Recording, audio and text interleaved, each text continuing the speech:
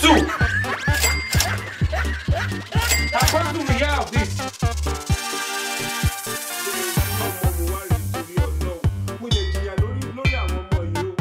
Jai! Jesus!